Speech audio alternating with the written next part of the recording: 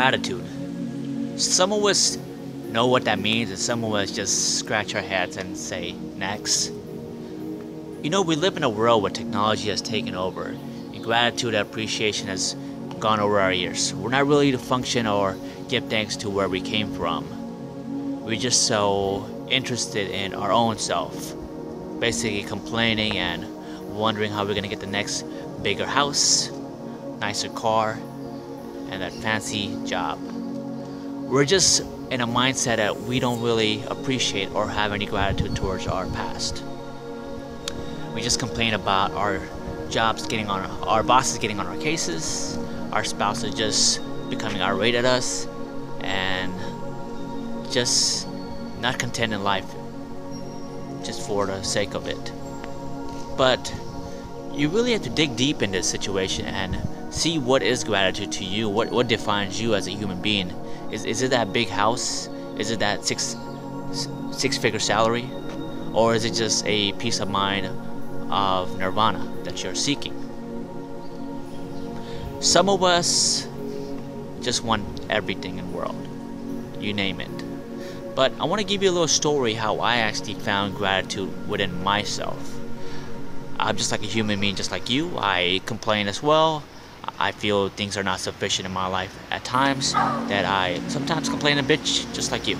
So what happened was, a couple days ago, I was going towards work to the west side, and I took the side street. I figured it'll be less traffic.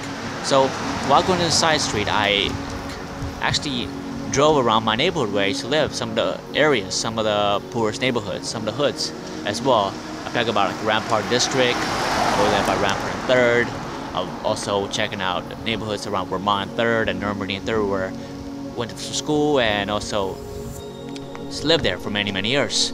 So while I was driving to those neighborhoods, I, I noticed that a lot of stores were closed. Some of the restaurants I used to eat, fast food joints used to go there, are still open.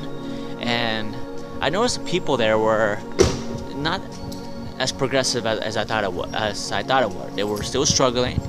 They were still not living the life what I thought they would be. And it just gave me an understanding how gratitude and appreciation of how my life is and, and why we complain so much while, while these people are still not really being sufficient in life and and but they still have a smile on their face and that pretty much gave me the gratitude I'm looking for despite the, their living condition despite the economic challenges and if you go there, you'll you pretty much know what I'm talking about. It just gave me a whole whole level of appreciation in, in my life instead of just complaining about every nits and, and bits of it.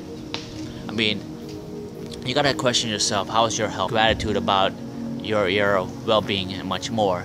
And I, I challenge any of you guys to to go to the neighborhoods where you grew up, the hood where you grew up, after work or whatever, and drive around there and you'll see a sense of gratitude within yourself. You'll see how content you will be and all this complaining and bitching will pretty much dissipate from your mindset.